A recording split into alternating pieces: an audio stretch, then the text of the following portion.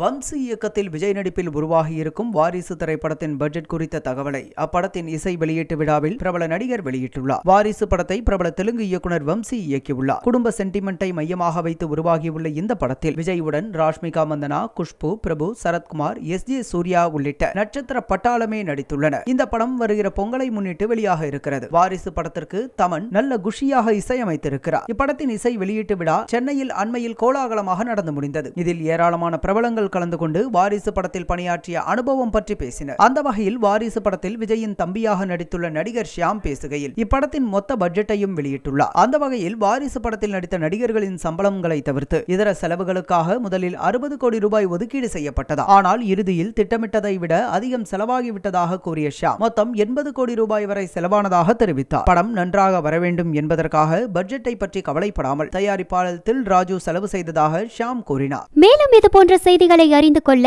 கீழே உள்ள லிங்கை கிளிக் செய்து செய்தி மலர் வாட்ஸ்அப் குரூப்பில் இணைந்திடுங்கள்